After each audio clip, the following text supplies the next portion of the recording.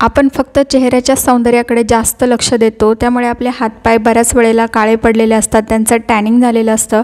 आज मी तुम्हाला असा भन्नाट उपाय सांगणार आहे ज्याने तुमचे हातपाय अगदी दहा ते पंधरा मिनटाच्या आतच गोरे गोरे होणार आहेत दुधासारखे. हा उपाय करण्यासाठी आपल्याला किचनमधली हळद घ्यायची आहे चिमूटभर.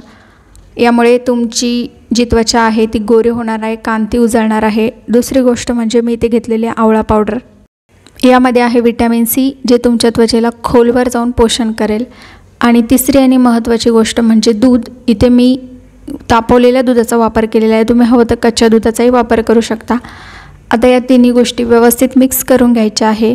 आणि हातापायांना याने मसाज करायचा आहे. अगदी दहा ते पंधरा मिनटं या मिश्रणाने हात आणि पायांना मसाज द्या.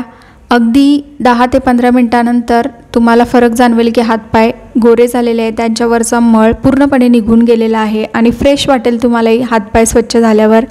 तसेच हे मिश्रण तुम्ही चेहऱ्यालाही लावू शकता. चेहऱ्याचाही काळेपणा वाढला असेल किंवा टॅनिंग वाढलं असेल तर तेही क्षणात दूर होईल. अगदी सोपा उपाय आहे. याने तुमचे हातपाय अगदी दुधाच्या मलईप्रमाणे होतील. तुम्ही एकदा अनुभव घेऊन पहा आणि मग तुम्हाला मिळालेला रिझल्ट मला कमेंटमध्ये सांगू शकता.